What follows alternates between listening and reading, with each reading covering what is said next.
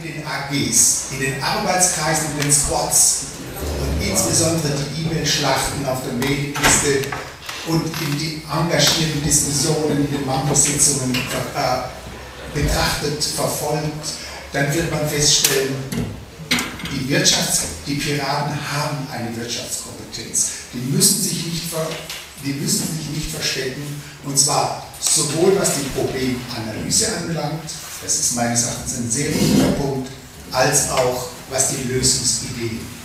Und ich glaube, gerade hinsichtlich der Lösungsideen sind die Piraten ganz besonders motiviert, beziehungsweise haben da auch gute Ideen.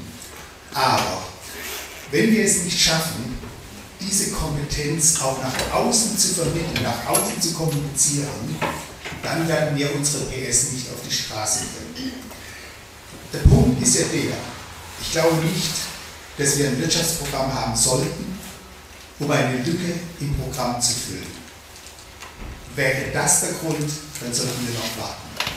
Ich glaube aber, wir sollten ein Wirtschaftsprogramm haben, weil wir was zu sagen haben, weil wir wichtige Aussagen machen können, die hier gerade im Bereich der Wirtschaft dringend notwendig sind.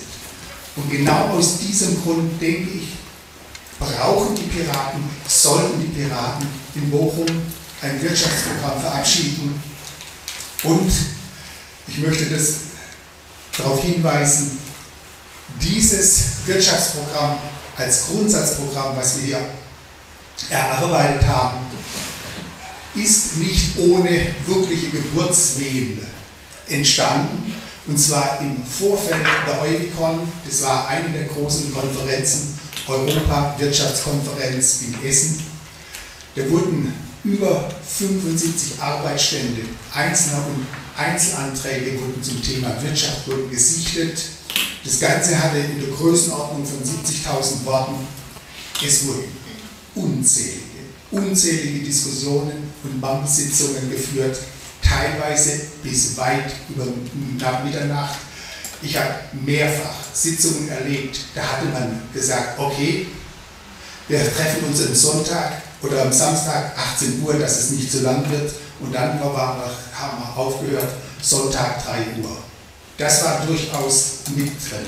Wir hatten auch eine Umfrage gemacht, um nur mal einen Eindruck zu gewinnen. Das sind beispielsweise so der, ein Arbeitsstand. Diese Liste geht, wie gesagt, bis äh, 75 weiter. Äh, hier sind dann die einzelnen Arbeitsstände sind dann aufgedröselt worden in einzelne Themen. Wir haben dann auch mit einer sogenannten Konkordanzsoftware analysiert, wo kommen bestimmte Wörter in welcher Kombination vor und gewissermaßen auch ein Gefühl zu führen bekommen.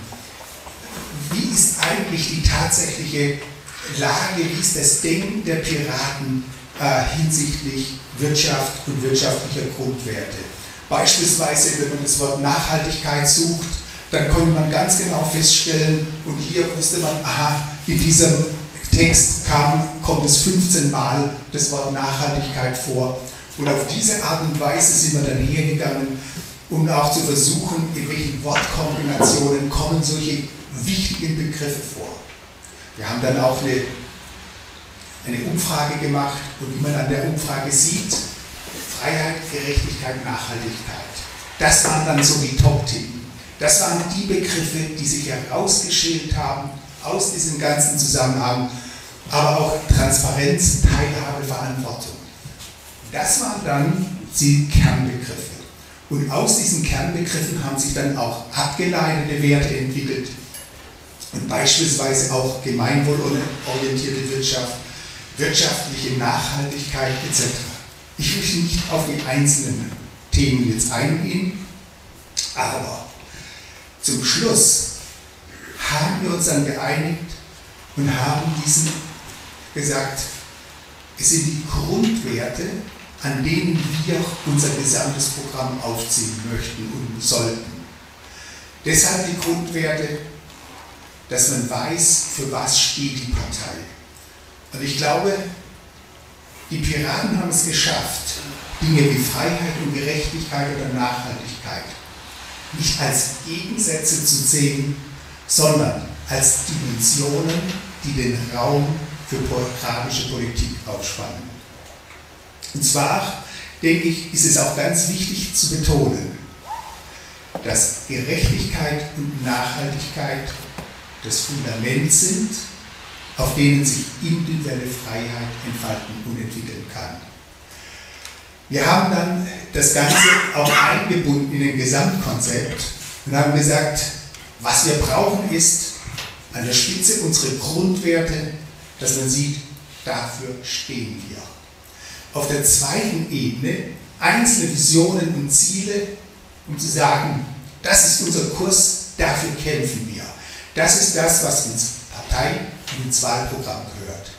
Und auf der dritten Ebene, das ist dann die Ebene der Arbeitsgruppen, der AGs, der Squads, die sagen, der Weg zum Ziel.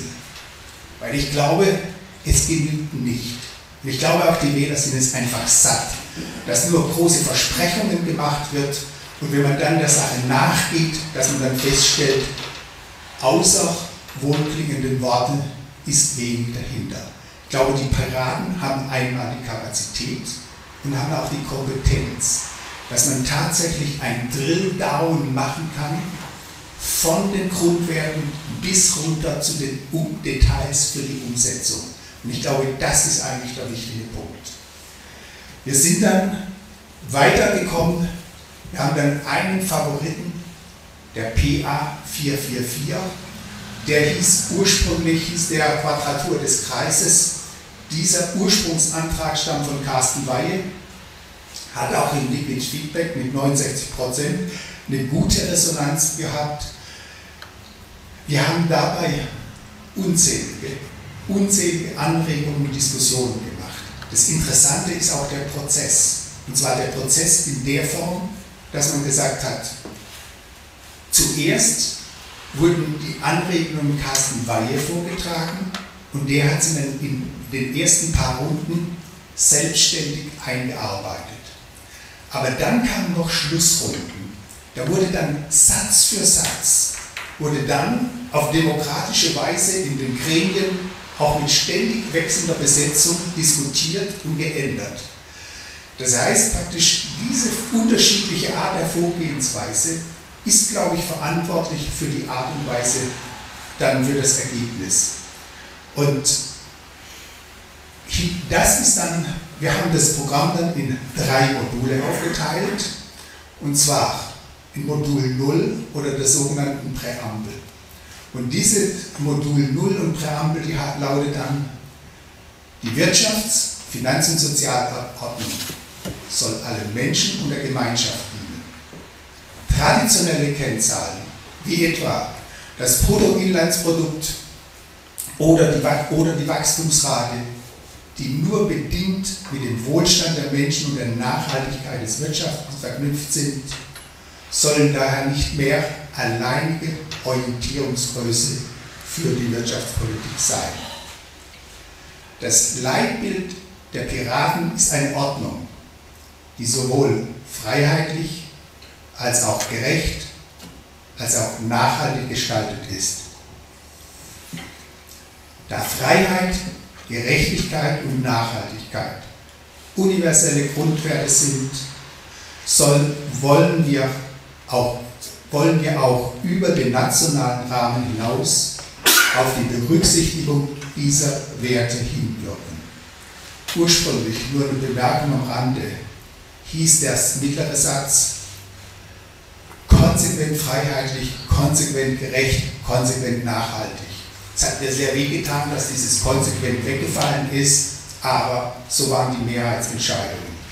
Ich schlage jetzt vor, ich übergebe jetzt an Matthias, dass er die nächsten Punkte, und zwar die Kurzfassung dann des Ergänzungsmoduls machen kann. Ich wollte jetzt auch erstmal nicht gleich weiterlesen, sondern nochmal ganz kurz innehalten.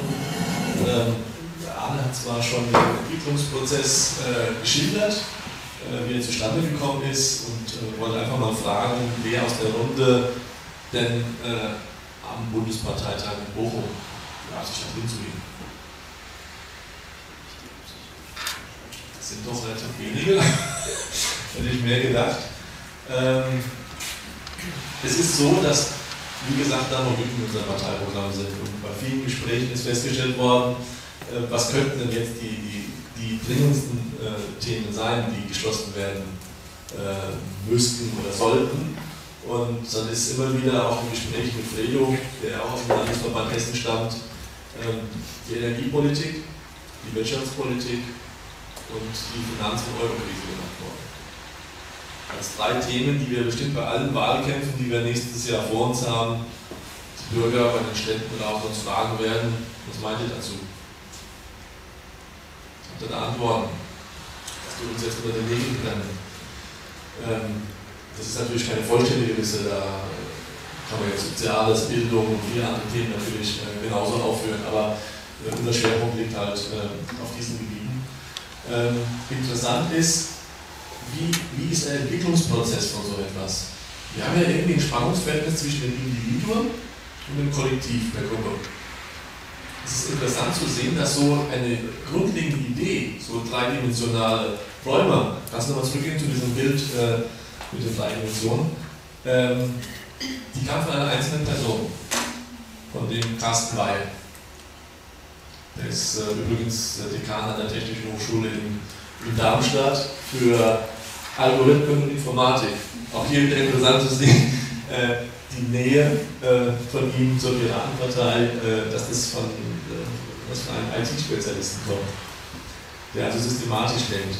Das hat dann, äh, er hat es dann alleine vorgebracht und Anna hat zu Recht gesagt, es sind dann x Anmerkungen im Video Feedback äh, gekommen, die hat er integriert, dann hat er das den AGs bekannt gemacht und dann hat der Prozess begonnen, den der Arne beschrieben hat. Findet ihr, dass dieser Prozess, was äh, original piratisch in eurem Sinne ist, dass der Verlauf so ist, dass eine individuelle Einzelperson kommt und dass es dann von vielen, vielen Leuten bearbeitet wird und dann zum Schluss in einem Konsens entwickelt wird und beschlossen wird? Habt ihr eine Frage dazu? Wie habt ihr denn diesen Prozess dokumentiert? Also ist der für uns sozusagen, kann man sich den irgendwie runterkopieren und ähnlich ja, durchziehen? In, das ist in, in, in Pads und auf den Wiki-Seiten. Da ist ja der, der, der, Time, der Timeverlauf dann nachprüfbar. Coachen sowas auch? Unter, unter Versionen. Okay. Aber prinzipiell erst einmal. Ich meine, wir haben wir werden nachher auch zu den zwei äh, anderen Grundsatzprogrammanträgen kommen, die ebenfalls in Bochum vorgestellt werden. Und da wird man sehen, dass da schon ein gewisser Unterschied ist, wie, äh, wie äh, die anderen beiden Anträge entwickelt worden sind und wie dieser Antrag entwickelt worden ist. Gibt es da sonst noch eine Bemerkung dazu und wie ihr euch das vorstellt, wie Anträge auf einem Bundesparteitag entwickelt werden sollten? Ähm, verstehe die Frage nicht ganz, weil ich denke, es gibt auch in den Methoden jetzt kein Problem, wenn eine gewisse Pluralität haben. Also wenn jetzt jemand auf eine andere Art und Weise oder ich meine, es soll es von einer kleinen Gruppe, einer Einzelperson eingebracht werden? Ja, ist klar, wenn es gut ist, kann es eine Einzelperson sein, wenn es gut ist, können es 100 Leute zusammen sein. Also, Wie es sich ergibt. Das Ergebnis ist wichtig. Okay. Also das war natürlich nicht von einer Einzelperson entschieden. Ja, das ist das sowieso ein. Ja, das ist nur das einzige, wo es da ist. Aber entwickeln, Okay. Darf ich mal dann einhaken? Was meines Erachtens das ganz große Problem ist, wir haben zum Bundesparteitag, ich glaube, so 500, 600 Anträge. Und ich bin der Meinung, äh, dass das ein paar zu viel sind. Die können, egal wie, nicht abgearbeitet werden. Und deshalb meine ich, brauchen wir so ein bisschen was wie ein Qualitätsmanagement, einen Prozess, der man sagt, das ist jetzt zwar vielleicht eine äh, super Idee, das würde ich auch so sehen bei dem Grundsatzantrag von Carsten Weihe.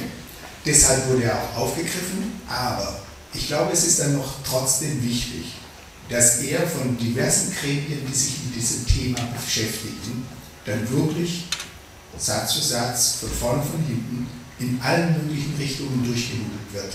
Und nur so, denke ich, kommen wir vielleicht zu weniger Anträgen, die aber dann dafür auch äh, schon äh, vorgegaben sind. Ja, ich gebe dem alle recht, wir machen unsere Anträge teilweise auch so äh, auf diese Art in den großen Gruppen, Satz für Satz, nach dem Bundeskreis. Äh, andererseits kommen auch Anträge rein, die von Einzelpersonen sind, die natürlich vor dem Parteitag äh, zur Information, zur Meinungsbildung zur Verfügung stehen. Unter Umständen gar nicht diskutiert werden müssen, weil sie schon so gut sind, oder die keiner diskutieren will, weil sie so schlecht sind, dass sie sowieso abgelehnt werden. Äh, was ich allerdings hoffe hier nicht, also ich höre es zwar raus, hoffe aber nicht, hoffe dass ich falsch liege, äh, dass sich aus der äh, Art und Weise, wie ein Antrag erarbeitet worden ist, nicht ein Automatismus ergeben darf, der ihn zur Behandlung priorisiert. Ja, das klang jetzt schon noch ein bisschen, gerade weil du hast nämlich jetzt das neue Wort Gremien eingeführt nochmal. Und das kann, finde ich, auch nicht der Punkt sein, ob da irgendwelche Gremien drin Druck haben. Sondern wenn schon, dann kann ich sagen, ja, das haben jetzt Leute mitgearbeitet. Und das, finde ich, dann kann man auch in meinem, meiner Meinung durchaus beim Bundespartei, ich glaube, da gibt es einen Satzungsänderungsantrag, dass man sagt, es gibt eine Zugangshürde äh, in Zukunft möglicherweise Programme drin oder Satzungsanträge oder beides, dass die müssen von, von und ab irgendwie mal 30 Unterstützer haben oder sowas. Das, sowas in der Art kann ich mir gut vorstellen, weil ich glaube, wenn ein Antrag keinen 30 Unterstützer findet, in unserer internetvernetzten Welt, wo dann 3000 Leute draufgucken oder vielleicht auch 30.000, dann glaube ich, dann muss man ihn vielleicht wirklich nicht behandeln. Aber das sind dann eigentlich preisliche Personen und nicht irgendwelche Gremien oder so, wo sich da auch gleich wieder so eine gewisse ähm, Eigendynamik, also in allen Gruppen gibt es ja eine Gruppendynamik und so weiter. Muss ich nicht haben. Ich denke, jede Theorie im Kopf ist gleichzeitig das Brett vorm Kopf. Und deshalb denke ich, ist es ganz, ganz wichtig, dass wir sagen, wir brauchen Anträge, die von, von verschiedenen Perspektiven, aus verschiedener Sichtweise betrachtet wurden. Ich kann mir das nicht vorstellen. Ich kann mir das nicht vorstellen, dass man irgendwas macht. Und das sehe ich auch die Gefahr, auch bei diesen vielen kurzen Anträgen, ist der Gesamtkontext wird bewahrt. Und das, glaube ich, ist nicht die Schwierigkeit. Aber bitte. Äh, ja, ohne das jetzt abwürgen zu wollen oder so, ähm, mir ist nämlich nicht ganz klar, worauf wir hinaus wollten. Ich würde es ganz gerne äh, kennenlernen. Ähm, ich glaube, es sind sich äh, alle einig, dass das, also wie ihr das erarbeitet habt und so, schon eine sehr coole Sache ist. Ich weiß nicht, also ich würde einfach gerne einen Antrag noch kennenlernen. Gute Idee. Wo sind wir gewesen? Das sollte auch nur noch reflektieren. Ja, Ja, das Modul Wir haben 1. das Modul 0 vorgestellt und Sie kommen jetzt praktisch zum Modul 1. Wir haben mal den Vortrag, äh, den Antrag in einer Kurzfassung. Das heißt, es wäre Modul 0 und Modul 1 und dann nochmal Modul 0 und Modul 2 wäre dann die Langfassung. Aber bitte. Ja, Modul 1, Kurzfassung ist natürlich wieder die, die, äh, Aufmerksamkeit beim Bundesparteitag sein wird, äh, dass man eine relativ schnell nachvollziehbare Version anbietet und dann später die erweiterte. Hier wird nochmal mit, wie gesagt, eins, zwei Sätzen versucht, die, zwei, die drei entscheidenden Dimensionsbegriffe äh, auszuformulieren. Ähm, das Freiheitlich ist eine Gesellschaftsordnung, in der die individuelle Entfaltung des Menschen im Mittelpunkt steht. Das ist äh, sicherlich eine Aussage, die äh, wir alle teilen.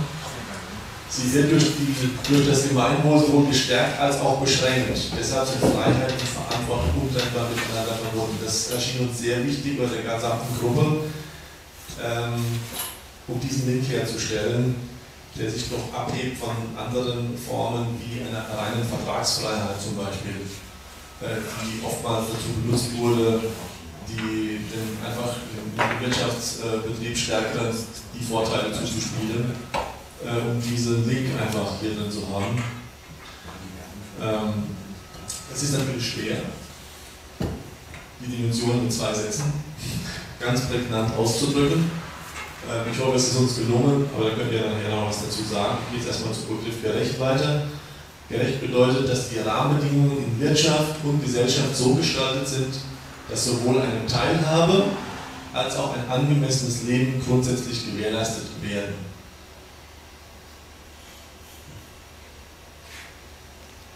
Auch hier wieder die Schwierigkeit, das ist ganz kurz, aber ich denke, hier ist es wieder äh, ganz gut gelungen. Ähm, wir haben natürlich bei angemessenem Leben, äh, glaube ich, damals die meisten Schwierigkeiten gehabt. Da wollten einige es deutlicher formulieren, weil wir das, äh, das BGE ja auch beschlossen haben beim Offenbacher Parteitag. Aber es ist ja ein sogenannter Grundsatzantrag.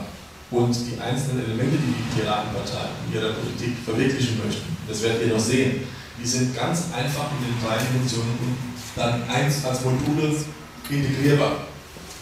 insofern, ähm, wenn jemand das BGI hier, BGI hier eine Kurzversion Version vermisst, das ist ähm, bei allen Besprechungen bei uns eigentlich ausdrücklich ja befürwortet worden als Produkt vorgesehen. Möchte ich bloß hier gleich bei der Dimension gerecht anfügen.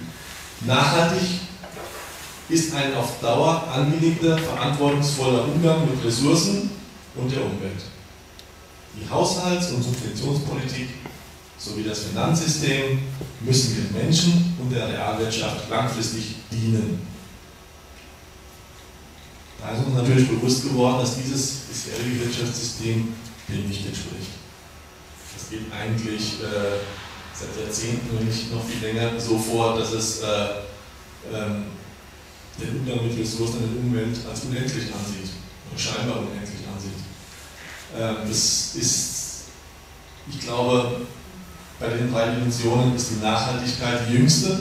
Das Problem, freiheitlich und gerecht auszubalancieren, ist nach meiner Überzeugung noch nie gelungen bisher in der Geschichte. Von keiner Bewegung, von keiner politischen Partei.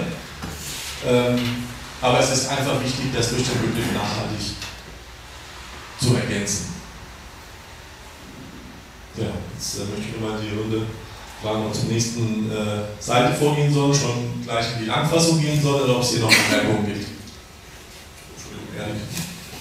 Also ich habe das gestern schon äh, fast gesagt, weil es gestern auch schon kam äh, im Vortrag über die Finanzkrise. Ich finde, Realwirtschaft hört da nicht hin.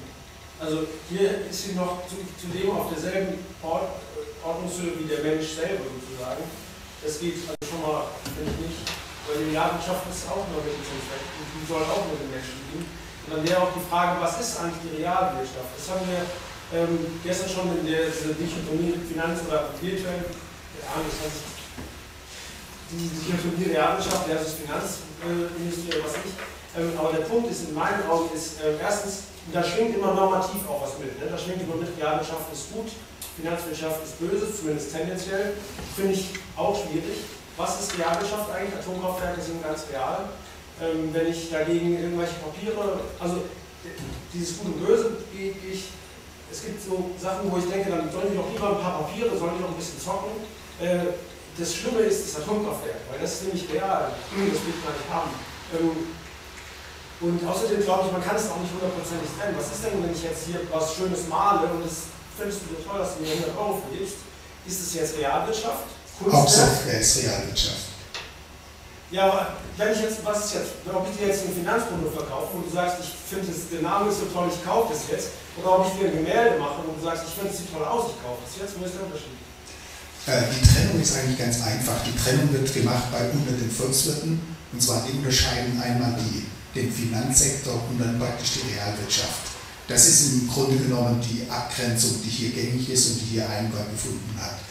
Und dann muss man dazu sagen, es wird ja auf die Finanzwirtschaft Bezug genommen. Und ich glaube, die muss man auch jetzt im Kontext sehen. Und der Kontext ist der, dass der Finanzsektor sich selbstständig gemacht hat. Dass der Finanzsektor sich selbst aufbläht und durch dieses Aufblähen gewissermaßen Pseudo-Werte schafft, mit denen aber dann auch reale Güter gekauft werden können. Und das ist das, was man hier ausdrücken will. Man könnte sagen, auch Geld ist eine gesellschaftliche Ressource und mit der sollte auch nachhaltig umgegangen werden. Und ich glaube, es sollte klar sein, dass wenn wir immer mehr weiter den Geldsektor aufblähen, dass das dann äh, praktisch der Realwirtschaft von dem, was wir letztendlich leben, nachhaltig schadet.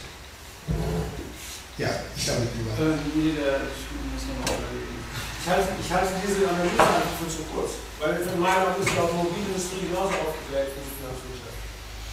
Ist durch die Finanzwirtschaft anders Ja, natürlich, es hängt, es geht mehr Interferenz, natürlich. Aber ähm, dieses, ich, ich finde es, es, find es nicht richtig zu sagen, ja, jetzt hauen wir es wieder in die Automobil. Das ist ja das Klassische, wie auch Politiker dann agieren. Die sagen, hier, das ist falsch, wir müssen mehr Autos bauen.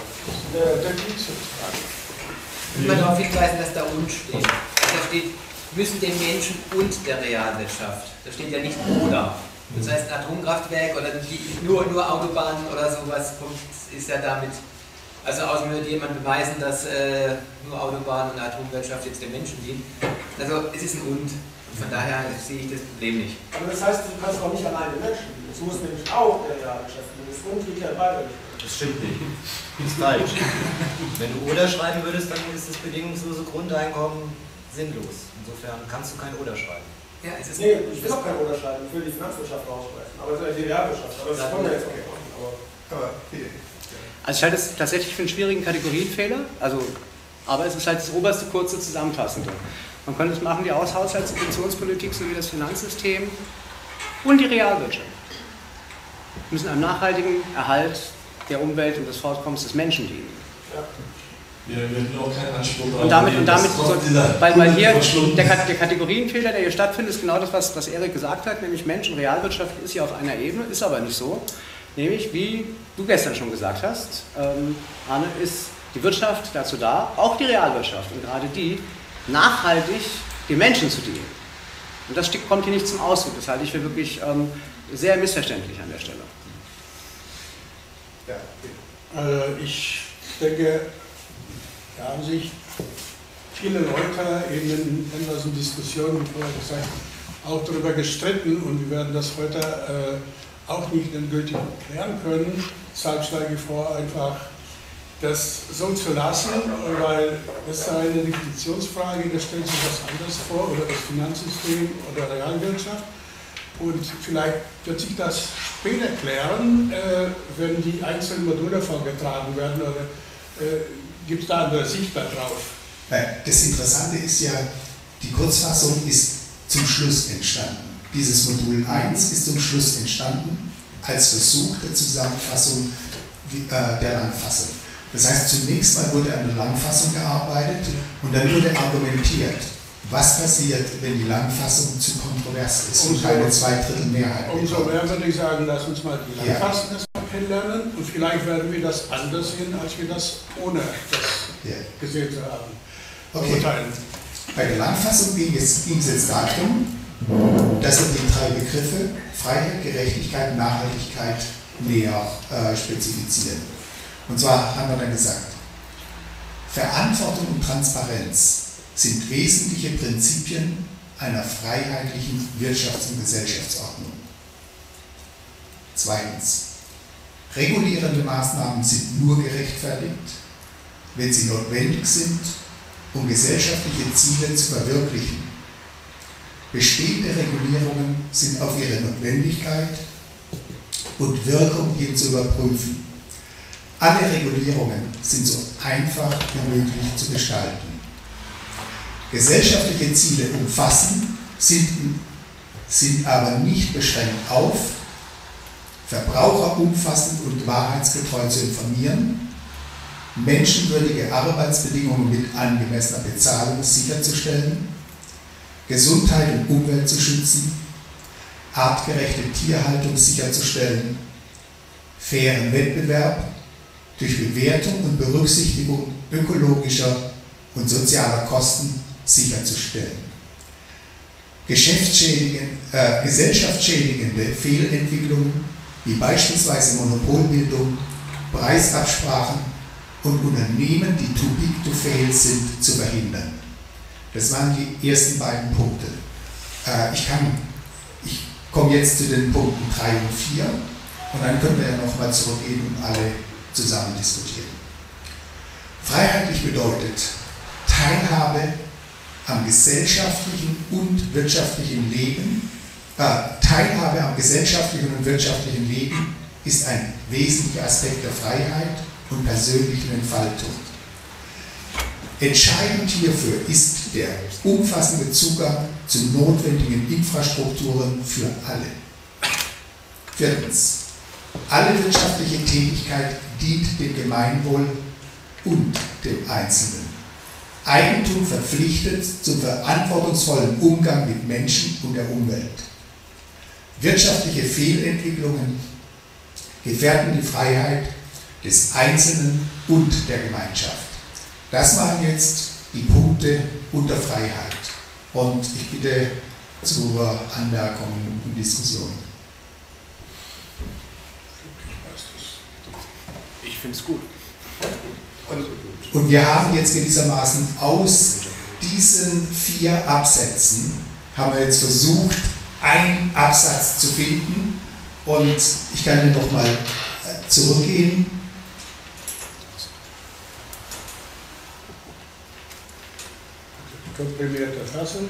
Das war dann gewissermaßen unsere Essenz aus diesen Sätzen. Ja, bitte. Ich glaube, er war vorher noch, oder? Achso, Entschuldigung, ja. Also, ähm, wenn du noch mal die Folie aufrufen könntest, wo die erste, vier, also die, wo Punkte 1 und 2 draufstehen. Okay, ähm, also so ab den Zielen finde ich es richtig gut, muss ich ehrlich sagen. Ähm, was mir ein bisschen missfällt, ist äh, wieder dieser ähm, recht offen gelassene Transparenzbegriff. Also wenn man dann vom fairen äh, Wettbewerb zum Beispiel spricht und so, dann kann man sich auch, äh, sagen wir mal, einen Arbeitsmarkt angucken wie in Norwegen, das dann äh, von jedem bekannt ist, was er an Geld verdient und so. Also gibt es ja dieses Register, wo das dann drinsteht über jeden. Und ähm, da, ähm, also ist es dann halt wieder, ich finde das immer so offen zu lassen und nicht äh, äh, zu sagen, Transparenz von was jetzt eigentlich, finde ich immer ein bisschen gefährlich. Ähm, wir hatten ja auch diskutiert, es war ja in der Diskussion, ob Transparenz nicht zu den Grundwerten gehört. Und da hat man dann eigentlich gesagt, nein, das ist kein Grundwert, weil wir wollen ja gerade nicht den transparenten Bürger, sondern wir wollen Transparenz in der Wirtschaft, wir wollen Transparenz im Staat, aber wir wollen genau keinen transparenten Bürger. Ja, aber das kann man rein interpretieren. Ähm, das Problem ist ja, dass sowohl im Staat als auch in der Wirtschaft der Bürger ja auch agiert. Mhm. Also das war jetzt das Beispiel von Christoph, wenn das Gehalt, das ja. ist ja Wirtschaft, aber es ist auch der Bürger. Das ist, betrifft auch Staatsbürgerstellen oder Politiker heute, ne? Diskussionen, Nebeneinkünfte. Das ist ja, ja, gleichzeitig Bürger. Richtig, richtig. Das ist ja, ich denke, äh, bei allen Grundwerten kommt es immer darauf an, in welcher Gewichtung, in welchem Kontext, in welchem Zusammenhang sie gesehen werden. Und das ist ja dann genau die Aufgabe auf der Zielebene, hier äh, mit Leben zu füllen. Ja. Ich sehe das mit der Transparenz nicht so als Problem auf der Stufe. Sicherlich muss man das eine Stufe später nochmal sehr genau definieren, dass es nicht die Persönlichkeitsrechte der Bürger betrifft. Ja? Aber da finde ich das gut. Aber was mir viel wichtiger war, was ist too big to fail? Ähm, in, eurer, in eurer Entscheidung fällt da dann auch ein Apple-Konzern drunter, der einfach inzwischen so groß geworden ist und so viel Cash hat aus eigener Kraft. Oder geht es da um systemrelevante Banken, in Anführungszeichen, oder was soll das sein, too big to fail? Ich finde es hochinteressant, dass du das ansprichst. Das war auch einer unserer, unserer kontroversen Themen. Und eigentlich sollte, oder eine der Versionen war, dass man sogar Monopolbildung draus lassen und als Beispiel nur die Preisabsprachen anführen. Und ähm, dann haben sich halt die Gruppe durchgesetzt, die gesagt hat, der Begriff Big to Fail ist aufgrund der Kontroverse und der Diskussion über das Finanzsystem eigentlich zu einem bekannten Begriff geworden ist. Und die meisten assoziieren diesen Begriff jetzt mit äh, dieser Finanzindustrie wie Deutsche Bank etc. das ist eine Interpretationssache. ich, ich wollte dir nur signalisieren, du, du bist genau an dem Punkt, den wir im Grunde genommen auch rauf und runter diskutiert haben und dann hat die Mehrheit halt so entschieden. Peter. Ich habe nur noch eine Frage, also es macht das Ganze natürlich nicht kaputt oder so, nur ich frage mich, was die Tierhaltung mit Freiheit zu tun hat. Ich habe das bestimmt lange diskutiert und dafür gibt es irgendeine Antwort, aber äh, das ist mal ein Wert, äh, Pferde, wie man ja, mit den Tieren umgeht, aber mit der Freiheit, das, ich, ich sehe da keine Verbindung. Ja, es hat mit Regulierung zu tun. Es geht, ja darum, es geht, ja darum, dass man sagt, Freiheit äh, ist ja dadurch bestimmt durch die regulierenden Eingriffe. Mhm. Und viele Piraten oder auch ich sind der Meinung, äh, Tiere sind Mitlebewesen, aber keine Sachen. Und das kommt hier ein bisschen zum Ausdruck. Und äh, deshalb denke ich, sollte man diese Käfighaltung oder dieser äh, Umgang mit Tieren, wie er teilweise stattfindet, dass es nur um den Profit geht, da sollte man Klarstellung dazu beziehen. Ich wollte nur eins sagen zu diesem Einwand. Von euch kam in der Transparenz. Wir haben gestern in der ersten Slot hier über Werte diskutiert, da waren wir beide auch dabei. Und da waren wir bei dem Begriff Transparenz auch überwiegend der Meinung, es ist kein Grundwert und wir haben es dann versucht zu füllen mit äh, Aufrichtigkeit und Wahrhaftigkeit, wie ihr euch nennen könnt. Und das finde ich ist ein Begriff fair, fairer Wettbewerb. Äh, kann man da eine Verbindung herstellen? Also ich will euch nicht unterstellen, dass äh, das, was ich eben gesagt habe, äh, dann so, so äh, also geplant ist, ja, dass euch in die Hände reibt, um die Gehälter aller Bürger zu legen oder so. Aber ähm, ich, ich habe halt äh, einfach, äh, meine Bedenken liegen einfach darin, dass der Antrag ja wohl so gestellt wird und dass man das einfach so da reinlesen kann. Das äh, ist halt das Problem. Also gerade wenn, wenn äh, es darum geht, ähm, ich meine, so eine sprachliche Genauigkeit aufbauen zu wollen und so halte ich das für sehr gefährlich. Ich kann dir eigentlich recht geben. Es war das Ringen, es war das Ringen um Präzision, Dichtheit in der Ausdrucksweise und äh, ja, präzise zu sein. Und äh, ich glaube, äh, ich habe gar kein Problem damit zu sagen, auch das muss nochmal bearbeitet werden. Gar kein Thema.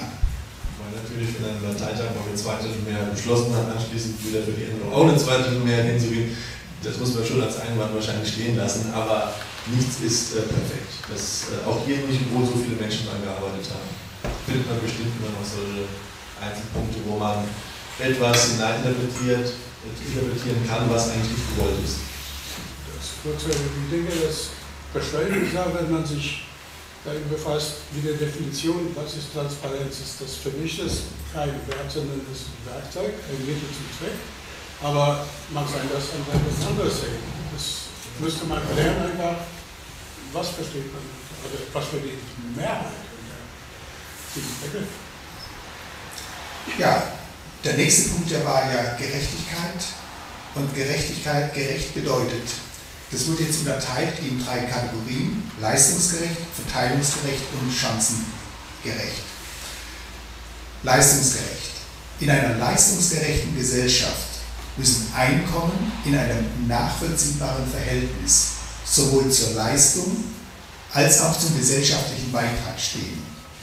Zu diesem Beitrag gehören ausdrücklich auch Aufgaben wie etwa die Kindererziehung oder die Pflege und Betreuung von Alten und Kranken. Vermögen sowie Einkommen aus Vermögen müssen stärker zur Finanzierung der Gesellschaft herangezogen werden. Verteilungsgerecht. Zu große Wohlstandsunterschiede zwischen den Menschen gefährden den Zusammenhalt in unserer Gesellschaft. Deshalb muss der Staat Rahmenbedingungen setzen, die zu einer stärkeren, die eine zu starke Konzentration von Einkünften und Vermögen entgegenwirken. Eine verteilungsgerechte Gesellschaft ermöglicht eine gesellschaftliche Teilhabe und gewährleistet einen angemessenen Lebensstandard für alle. Chancengerecht. Eine chancengerechte Gesellschaft erschließt die brachliegenden Potenziale von Kindern, Jugendlichen und auch Erwachsenen zu deren eigenen Nutzen und zum Nutzen der Gesellschaft. Dieses Ziel soll nicht nur durch Bildungsmaßnahmen allein angestrebt werden, es müssen geeignete Rahmenbedingungen geschaffen werden, die es den Menschen erst ermöglicht, ihre Chance wahrzunehmen. Entwicklungschancen müssen unabhängig von der gesellschaftlichen Stellung des Einzelnen sein. Das ist zum Punkt ähm, gerecht. Ja, bitte. Habt ihr das Wort Bildungsmaßnahmen diskutiert? Ich finde das Wort Bildungsmaßnahmen sehr unglücklich, weil darunter fallen auch zwangsweise anordnende Fortbildungsmaßnahmen zum Beispiel. Ich würde äh, spontan sagen Möglichkeiten und nicht Maßnahmen wenn es vorgeschlagen, wenn es diskutiert worden wäre, könnte ich mir vorstellen, dass man das äh, diskutiert äh, hätte. Ähm, was, was, uns bei der ganzen Diskussion noch wichtig war, es herauszusetzen, äh, herauszustellen ist, es, kommt, es, es entsteht ja in der Gesellschaft den Eindruck, dass derjenige, der viel verdient, leistet viel. Es wird gar nicht gesehen, dass im Grunde genommen die Karten, wenn man so will, sehr unterschiedlich gemischt werden in, unserem, in unserer Gesellschaft.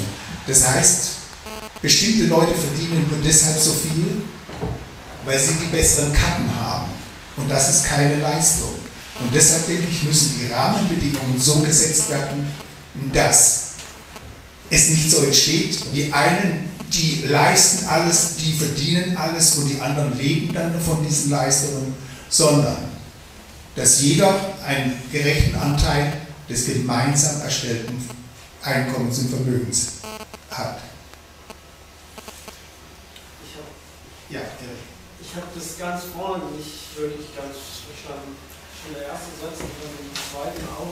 Jetzt kannst du ein bisschen lauter reden und so ja. mit der Mikro. Ja, ich habe das ganz vorne nicht ganz verstanden mit dem, was ist jetzt die Leistung und was ist der Beitrag oder wer zahlt jetzt an wen den Beitrag. Äh, wie unterscheiden.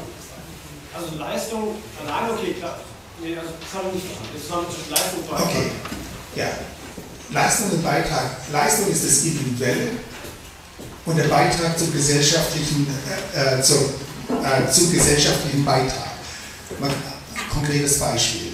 Jemand, der bekloppt äh, im Kreis rumfährt, der macht sicherlich auf der individuellen Ebene eine ordentliche Leistung, aber ob das ein großer gesellschaftlicher Beitrag ist, das wage ich jetzt zu bezweifeln.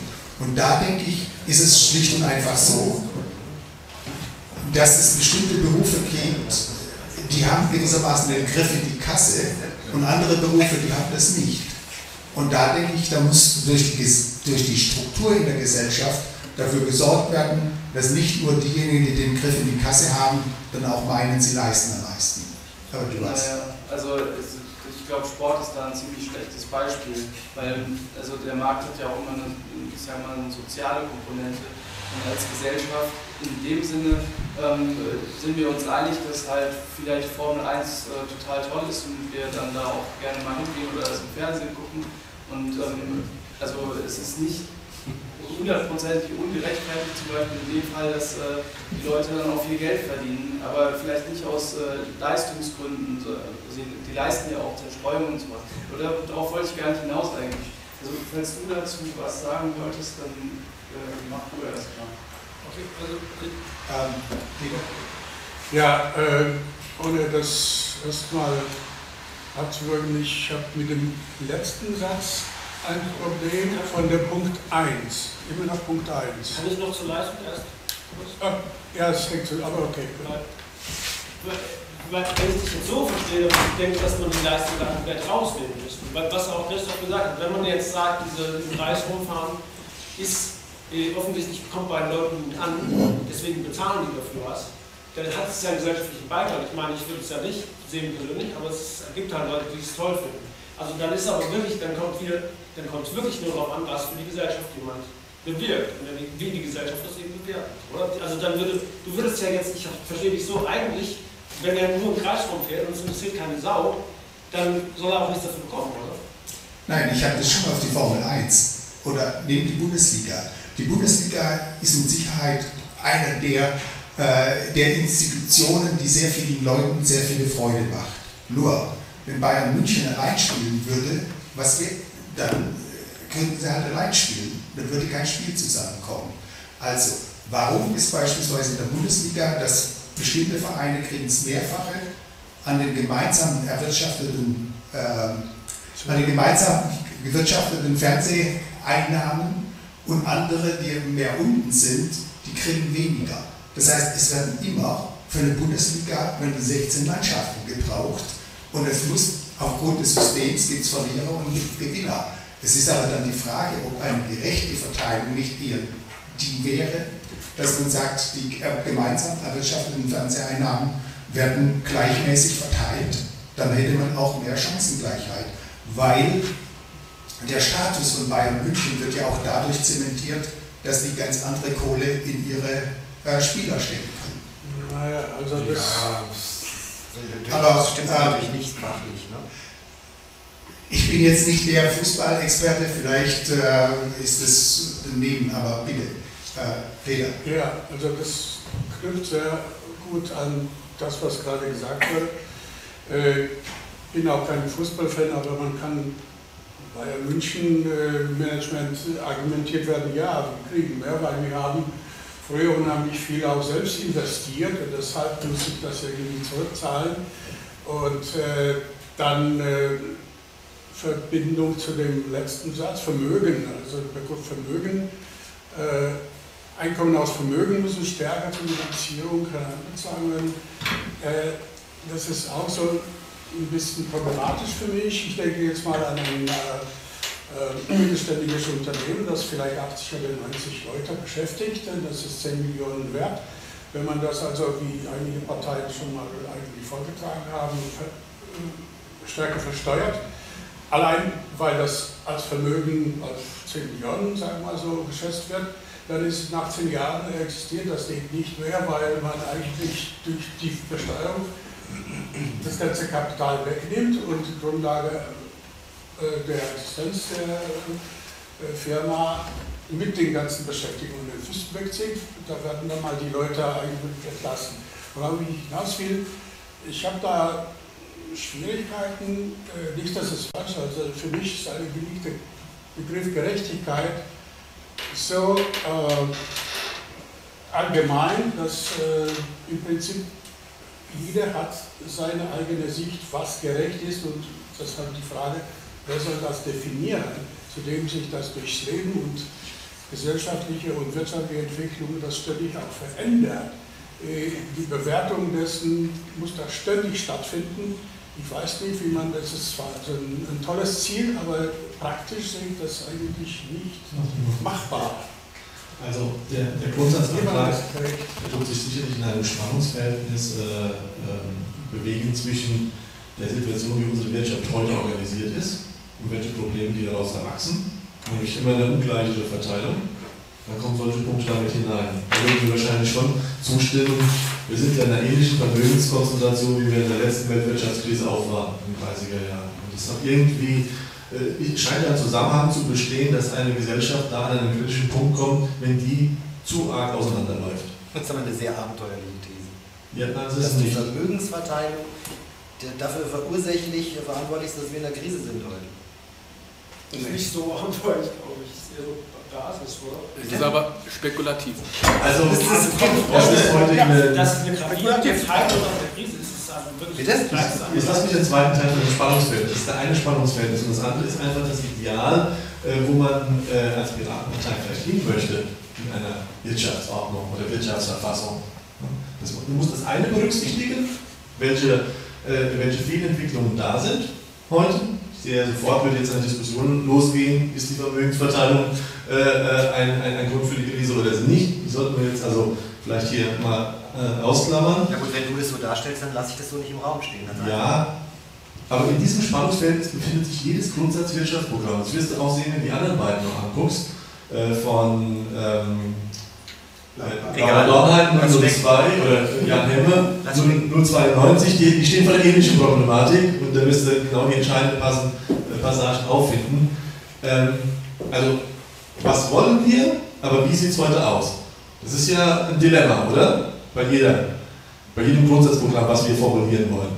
Wir müssen uns mit der Realität auseinandersetzen, so wie sie ist, und wir äußern eine, eine Wunschvorstellung, mehrheitsmäßig beschlossen, wie wir es gerne hätten. Das ist und deswegen kommen solche unterschiedlichen Punkte in so einem Antrag vor. Ja, um da mal anzuschließen, ich würde gerne von euch hören, was ihr wollt. Wenn ich mir die ersten zwei Punkte da nämlich durchlese, dann klingt das für mich wie ein Plädoyer für äh, Mindestlöhne, für eine Millionärssteuer und das dachte ich eigentlich immer wäre einer anderen Partei Thema. Und ähm, ich persönlich bin ja auch als, äh, also aus meiner Geschichte, wie ich auch zur Partei gekommen bin, war ein großer Anhänger von gut implementierten freien Märkten, wo es halt faire Verträge gibt, wo es transparente Informationen gibt, wo eben Teilhabe, keine Monopolbildung, Stichwort Patentrecht und so. Und äh, ich bin auch äh, jemand, der glaubt, dass ähm, der freie Markt ein sehr, sehr gutes Werkzeug sein kann, ähm, um Ressourcen äh, gesellschaftlich, also sehr effektiv auch weit zu verteilen. Also wenn man eben nicht so ähm, Monopol äh, fördert, wie wir es momentan tun. Aber das ähm, klingt für mich halt ähm, ziemlich also marktfeindlich, was da ähm, steht. Aber ich will euch nicht unterstellen, dass es das ist. Deswegen würde ich gerne mal hören, was für, für praktische Schlüsse aus diesen Punkten 1 und 2 zieht. Äh, an praktischen Schlüssen kann man sagen, äh, eine Einkommen- oder Vermögensverteilung, wie sie heute haben, nämlich dass praktisch die Hälfte der Bevölkerung hat de facto nichts und 10% äh, der Bevölkerung haben 50% des Vermögens. Da denke ich, das ist schlicht und einfach ist es nicht nur darauf zurückzuführen, dass diese 10% so viel, viel mehr gearbeitet und geleistet haben wie die anderen, sondern es ist die Struktur, es sind die Spielregeln in der Gesellschaft. Und die müssen geändert werden. Und, und dann können auch wieder die Märkte funktionieren. Es ist meines Erachtens gerade, was wir heute haben, weitgehend kein Ausdruck von funktionierenden Märkten. Niemand, der hier in Deutschland beispielsweise unter Bedingungen produziert, die sowohl den Arbeitsschutz, gerecht angemessene Löhne und Umwelt betrachtet, kann konkurrieren mit einem Produkt, das irgendwo in der Welt produziert wurde, unter ausbeuterischen Bedingungen für die Arbeiter, unter Missachtung von Umweltschutz, da kann man nicht konkurrieren. Und wenn jetzt solche, solche Prozesse stattfinden, solche Prozesse stattfinden, dann sage ich, hier müssen wieder faire Wettbewerbsbedingungen geschaffen werden. Wir müssen mal ganz kurz was zur Auflockerung der Runde sagen. Er sagt gerade, doch, Trigema. Ich habe auch den Panzer als Mitarbeiter. Also, das mit dem Markt, ähm, das ist ein ganz interessanter Punkt. Ich glaube, wir können das nicht auf diese, dieses klassische Links-Rechts-Schema reduzieren, was äh, die ganzen anderen Parteien umtreibt. Die, die, befinden sich immer in dem Spannungsverhältnis da von Marx, äh, äh, Produktionsfaktor Arbeit und äh, Adam Smith auf der anderen Seite oder Ricardo, ähm, ähm, die freien Märkte und äh, der Freihandel, der machen das. Sondern wir müssen äh, was jetzt in dem Grundsatzprogramm eigentlich nicht richtig drin ist, aber eine Dimension noch dazu nehmen, was ich gestern Abend in meinem Slot gesagt habe. Bei der Entwicklung der Demokratie in unserer Gesellschaften haben wir eine wunderbare Gewaltenteilung hinbekommen. Exekutive, Legislative, Judikative. Beste der Welt. Aber es fehlt eine Dimension. Das Geld. Das Geld ist nicht in diesen drei Gewalten enthalten. Also Sondern es sind Partikularinteressen, die sich dann immer äh, dieser Sache bemächtigt haben, ganz intransparent meistens, versteckt hinter diesen anderen Konflikten, die ich eben gesagt habe. Den kam sogar sehr, äh, äh, ähm, die fanden es sehr gut, dass dieses Links-Rechts-Denken da immer war, dass die da sich immer gekriegt haben und gar nicht gemerkt haben, was das Allerwichtigste war, nämlich wer kontrolliert das Geld. insofern, es gibt ja Bestrebungen, auch außerhalb unserer Partei, da Vorstellungen eine Monetative als Begriff mal zu, zu bringen, als eine vierte Staatsgewalt zu etablieren. Wenn man das mal so reflektiert im Hintergrund, dann kann man sehen, dass so ein Wirtschaftsprogramm eben genau vor diesem Spannungsverhältnis auch eine Gewaltenteilung zu sehen ist. Das ist ein neues Denken, was da deutlich wird. Und es geht ein bisschen. Ganz, was ich möchte. Ja, das wird ja demokratisch in der Gemeinschaft dann vereinbart, diese Monetative. Es geht eigentlich darum, dass die Gemeinschaft sich die Hoheit über das Geld wieder zurückholt. Also ich würde mal die Runde fragen, das haben wir, das haben wir heute nicht. Ich habe äh, Du hattest es. Ich möchte mal eins sagen, ich, Chapeau dafür, wie viel Mühe ihr euch gemacht habt. Ich weiß ja auch, wie schwer das gerade bei der Basis überhaupt durchzusetzen ist, sowas aufs Papier zu bringen. Aber trotzdem muss ich euch auch eine Watsche geben auf der anderen Seite, weil genau wie du es gerade gesagt hast, dachte dafür, dass in einem Grundsatzprogramm Einkommen aus Vermögen müssen stärker zur Finanzierung der Gesellschaft herangezogen werden steht, dachte ich, dass es da eine andere Partei gibt für. Und ich muss ehrlich eins sagen, genau. die einen sagen so, die anderen so. Ich bin persönlich nicht bereit, sowas zu akzeptieren in einer Situation, in der wir nicht über die Ausgabenseite und über die Rechtssicherheit, die der Staat im Vermögen bietet, sprechen. Der Punkt ist nämlich der, sicherlich ist eine ungerechte Verteilung eines der Probleme. Im Moment viel akuter ist Folgendes. Es gibt nämlich viele Leute, die gerne noch mehr Geld geben würden. Aber dieses Geld versickert auf der Ausgabenseite des Staates und zwar in sinnlosen Bereichen, an denen nicht die Bürger partizipieren und nicht die Transferempfänger, die das brauchen, partizipieren, sondern in unsinnigen Dingen, die gipfeln in der Züchtung, die mit 500.000 Euro unterstützt wurde, lilafarbener Moorrüben. Das ist ein Beispiel aus dem Bundesrechnungshofbericht. Und dieser Satz, den kann ich so nicht unterschreiben, bevor nicht die andere Seite angefasst wird. Wir brauchen Rechtssicherheit, wir brauchen Ausgabendisziplin, und es kann nicht sein, dass in einem Jahr, in dem wir Rekordsteuereinnahmen haben, trotzdem Kredite aufgenommen werden und aufgrund der Wahl, der stattfindet, die stattfinden wird, irgendwelche Versprechungen gemacht werden, die so teilweise abenteuerlich sind und es rausgehauen wird und dazu noch und man realistisch einfach sieht, dass uns in den nächsten Jahren eine ganz andere Situation in der Wirtschaft erwarten wird. Das weiß ja auch jeder. Brauchen wir auch nicht mehr darüber zu streiten, dass das mit dem Euro uns einholt, was da gerade passiert. Insofern bin ich dazu nicht bereit. Yes. Genau. Ich möchte sagen, man kann nicht alles in einem Satz oder in einem Absatz unterbringen. Das ist das, das ist Punkt 1. Dann lass wir kommen, nein, wir kommen zu diesem Punkt noch an, an späterer Stelle. Und äh, wir haben ja auch gesagt, dass Regulierungen nur dann äh, zulässig sind, wenn sie tatsächlich notwendig sind. Ihr sagt, die Das Faktor heißt, ist eine das ist ja Vermögenssteuer. Und dann das ist der. Teil. Und bei der Vermögenssteuer, glaube ich, gibt es auch eine wirklich sachliche Gerechtfertigung. Äh, über Jahrzehnte kann man sagen, über Jahrzehnte ist das Einkommen, die Steuer auf, äh, auf Arbeitseinkommen sehr viel stärker, konsequenter zur, äh, zur Finanzierung des Staates herangezogen wird als praktisch das Vermögen. Was noch dazu kommt, es hat ja immer den Eindruck, nein, das sind Fakten. Wir können dann gerne äh, über äh, praktisch bei Hartmann. Faktencheck, äh, reden wir über Fakten oder reden wir über äh, Vorstellungen. Aber du nimmst ja eine Komponente raus und sagst, das ist die Wahrheit. Und dazu gehört eine andere Komponente, nämlich noch, wenn du über Einkommensteuer redest, wie ist die aufgebaut, wie funktioniert die und sie funktioniert eben nicht. Die funktioniert doch teilweise deshalb nicht, weil äh, die, die Einkommen aus äh, Finanzanlagen, weil die gar nicht so in den Griff zu bekommen sind. Ein Aspekt. Ein Aspekt. Richtig. Und deshalb muss man dann das Ergebnis, ans Ergebnis gehen. Ähm, ja.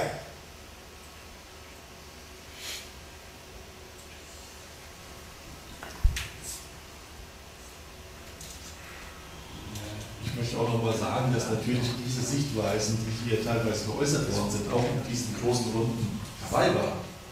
Aber, Aber, in aber, aber, aber, ja, aber scheinbar, äh, da, da bilden sich natürlich auch Mehrheitsentscheidungen ab. Hm. Ohne Zweifel. Es, wird, äh, es ist ja deutlich, was, dass beim Thema Wirtschaft die Einordnung einer Partei, wir wollen ja keine äh, Partei sein, die in diesem links-rechts Thema eingeordnet wird. Auch in unserem Selbstverständnis nicht. Aber dennoch, dennoch äh, ist immer gleich bei unserem, jeder denkt, er hat ja eine Position, wo er meint, er hat den richtigen Blick auf die Wirtschaft und auf die Theorien und auf die Paradigmen, die da wirken und so weiter. Und die kollidieren natürlich dann miteinander. Das ist richtig. So. Wenn das so transportiert wird, dann muss ich meinen Kollegen dahin recht geben, dass so gibt es andere Parteien. Das ist ganz aber du hast jetzt hier eine Gesamtverfassung von, äh, äh, von Papieren, wo du jetzt an einem Punkt einen Einwand hast. Äh, wo wir hier einen Einwand haben und so weiter, dann müssen wir natürlich entscheiden, ob ich jetzt das gesamte Paket nicht zustimmen kann, weil ich einen, einen Teil, äh, Aspekt im Mittleren kann, ist der dann so grundsätzlich und fundamental für mich, dass es das gesamte Paket ruiniert oder äh, werde ich mit Bauchschmerzen versuchen, äh, den später dann zu ändern, wenn eine Mehrheit dafür zu bekommen, das ist dann die Frage, die sich stellt. Das ist ein ganz normaler demokratischer Prozess. Das ist Ja. Also, ja, ich melde mich schon seit zwei stimmt. Minuten. Ja. Wir waren noch gar nicht dran. Dann erzähl mal. Ich wollte ja in vielen Punkten auch recht geben. Es ist, ähm, äh, der, der Knackpunkt ist doch wahrscheinlich äh, im ersten Absatz vor allen Dingen die, äh, nur Vermögen sowie. Wenn man diese zwei Wörter schon ähm, nicht hätte, würde sich die Situation doch schon ganz anders ähm, äh, darstellen. Und ähm, was ich halt da als die große Problematik betrachte, ist, dass automatisch, wenn Vermögen als solches besteuert wird, ist Auch der Druck. ähm, ähm, über eine Vermögenssteuer über andere Sachen. Dieses Vermögen automatisch, jegliches Vermögen äh, in einen massiven Renditedruck wieder reinkommt. Das heißt eigentlich alles ähm, äh, irgendwo reingeschmissen wird und dann wir natürlich wieder schneller, höher, weiter ähm, automatisch in ein immer äh, stärkeres Wachstum äh, reinkommen und dabei die Aspekte von Nachhaltigkeit oder andere Sachen äh, kaum äh, Berücksichtigung finden können, beziehungsweise das dann auch wieder zu anderen Spekulationen und äh, Blasen auch führen kann, als langfristige Entwicklung. Und insofern äh, würde dieses, würden diese zwei Worte nicht da sein, glaube ich, könnte man das viel, viel eher unterschreiben. Ähm, ich hoffe, dass ich da jetzt nicht komplett gegen euch spreche, aber Einkommen aus Vermögen ist was. Ja. So, jetzt, wie heißt du? Christoph. Christoph, Erik und Peter. Also, ja, ich wollte jetzt nochmal zum Ausgangspunkt dieses äh, Threads zurückspringen. Und ähm, also nochmal auf den, also in der Analyse der Situation sind wir uns ja total einig. Ich glaube nicht, dass wir eine freie Marktwirtschaft haben. Wir, also ich mache auch einen ganz klaren Unterschied so aus, auf einer erkenntnistheoretischen Ebene zwischen freier Marktwirtschaft und Kapitalismus. Wir befinden uns in einem kapitalistischen System und ähm, da läuft sicherlich viel falsch, was hier eben alles genannt worden ist. Ähm, und natürlich muss man sich überlegen, wie repariere ich das? Ja, und wie schaffe ich es eben, zum Beispiel die ungleichen äh, Einkommensverhältnisse oder ähm, das, was an Finanzmärkten passiert oder so, irgendwie einzufangen und äh, wieder für die Gesellschaft nutzbar zu machen und so. Weil ähm, da sind wir uns total einig. Was ich gerne von euch gehört hätte, wären eben die Vorstellungen, anhand äh, welcher Instrumente das zu erreichen sein könnte. Ja? Und nicht ähm, also eben die Situationsanalyse, weil die ist ja uns, glaube ich, allen klar. Und ähm, also für mich, äh, ich glaube auch, ich glaube ehrlich gesagt, es tut mir sehr leid für die ganze Arbeit äh, und äh, um eure Nächte, aber ich glaube nicht, dass dieser Antrag am Bundesparteitag eine Chance hat. Weil, äh, Geht hervor. Ich finde, das ist gut. Ähm, nicht ganz Antrag. Das. Äh, Erik, Peter, Was die Vermögenssteuer angeht, denke ich, es, es fehlt einfach wahrscheinlich ein, ein Wort, und das ist Progression. Progressive Vermögenssteuer, weil ähm, das ist ja schön. Jetzt kommt das, ja, ich hätte jetzt gedacht, du, da, das ist genau das Problem, dass du denkst, jetzt wird jeder, der so ein kleines Häuschen hat, wird jetzt irgendwie ausgezogen. Aber du hast explizit damit ein Problem, dass die Superreichen was abnehmen müssen. Also mit der so ein Totschlagargument, meinst du, da lasse ich mich drauf ein? Ich, ich bin für alle Maßnahmen zu haben, die auch unten ankommen und den Bürgern helfen. Das ist die richtige Antwort auf so ein Totschlagargument. Du hast ja recht, dass man ja. gucken muss, auch wo das Geld hingeht. Wenn du mit dem Finger auf mich zeigst, sagst du hast was dagegen, dass die Superreichen besteuert werden. Ich habe dich gefragt, weil du gerade gesagt hast, Progression ist ja doch. Und das ist ja die Folge. Wenn ich genau. Progression schnell habe, dann ist es. Das wird jetzt ein Zwiegespräch ungerechnet anderen gegenüber, wenn ich dran bin. Ich habe gefragt, du kannst ja nein Darf ich? Bitte. Ja, ja, dann aber mehr als ein Satz. Ich habe dich doch nur gefragt, weil du gerade, ich habe nur auf dich reagiert, weil ich gerade die Progression vorgeschlagen und du hast gesagt, ah, ist ja noch schlimmer. Ja. Da wollte ich nur verstehen, warum diese Reaktion Also ich kann dir Folgendes sagen. Ich habe ein Unternehmen verkauft, genau in der Zeit, bevor Schröder den Erlass eingeführt hat. so. Ein Unternehmen habe ich verkauft, als es schon steuerfrei war. Ich habe aber für all dieses Geld, mit dem ich ein Unternehmen aufgebaut habe, Steuern gezahlt. Ein Vielfaches. Ich habe meine Mitarbeiter immer gut behandelt. Ich habe einen ein Jahr durchgeschleppt, der ein Aneurysma im Kopf hatte. Ich habe mich immer moralisch, ethisch, vorbildlich verhalten. Ich habe mein ganzes Leben lang Projekte angefasst, sozial, habe nie drüber geredet etc. Ich möchte, und da spreche ich für viele, nicht mehr, dass dieses Geld nochmal versteuert wird, weil ich habe es schon x-mal versteuert und wenn ich es vererbe, versteuere ich es nochmal. So, das ist eine ganz klare Aussage, weil, weil, weil, weil der Staat dieses Geld nicht zu denen bringt, wo es hin soll, sondern für Scheiße ausgibt.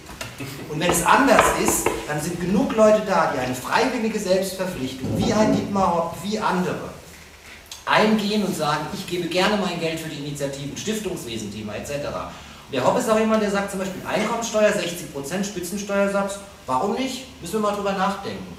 Da habe ich aber noch eine ganz andere Meinung, ich versuche es in zwei Sätzen zu sagen, aber nur weil du mich explizit aufgefordert hast. Ich zahle im Moment von meinem Einkommen, das ich hatte bis Oktober, ich habe mir jetzt ja freigenommen für den Wahlkampf, wäre ich Spitzensteuersatz. Ich habe aber so viele Kosten, dass ich im Schnitt ungefähr 32% Steuern bezahlt habe. Ich bin dafür, dass man diese ganzen scheiß Absetzmöglichkeiten abschafft. Fürs Auto gibt es 500 Euro im Monat, basta. Fürs Büro gibt es für eine Person 500 Euro im Monat, basta. Für einen Computer gibt es so und so viel. Es gibt nur noch Pauschbeträge für die Kernsachen, die man braucht. Alles andere fällt weg. Und ich habe mal ausgerechnet für mich und habe es den Spielchen mit fünf Freunden gemacht. Wir würden mehr Steuern zahlen als heute und das heißt, man könnte theoretisch einen Spitzensteuersatz bei irgendwo so zwischen 35 und 38 Prozent hinsetzen und man alles streicht. Und wenn der Staat das macht, dann gebe ich noch mehr dazu. Da sind Tausende, Zehntausende von Leuten in Deutschland, die da mitmachen würden. Also das war äh, toll. Äh, ich habe selbst ein Unternehmen verkauft, ich habe aber einen Rechtsformwechsel gehabt und bin dann innerhalb dieser fünf Jahresfrist gewesen, die da notwendig ist und musste versteuern. Also ich habe eine nicht unähnliche äh, Erfahrung wie du gemacht. Ganz, ganz kurz noch. Aber ich glaube, wir reden ein bisschen an der vorbei an einem Punkt. Wir meinen nicht Vermögen, die bei deiner Klasse, bei jemandem, der ein Eigentums, äh, ein eigenes Haus hat oder wegen wir zwei oder drei. Ich weiß doch gar nicht, wie viel mein Unternehmen sondern, sondern wir reden hier von einer Vermögenskonzentration, die durch das Geldsystem in der Spitze verursacht wird. Was du jetzt die ganze Zeit einklagst, auf der einen Seite, ich weiß nicht die Ausgabenseite, die du vom Staat gemeint hast, ist, äh, als würde das schon zutreffen auf, auf Leute, die eine Firma äh, vielleicht ein Jahrzehnt oder zwei Jahrzehnte groß gemacht haben. Äh, wo wir jetzt reden von, von Werten vielleicht von 500.000, einer Million oder zwei Millionen oder so irgendwas. Ich glaube, das ist nicht die Zielgröße, um die es hier geht. Es geht hier wirklich um die Vermögenskonzentration in der Spitze und die kannst du dir nicht vorstellen, wie unendlich stark die geworden ist.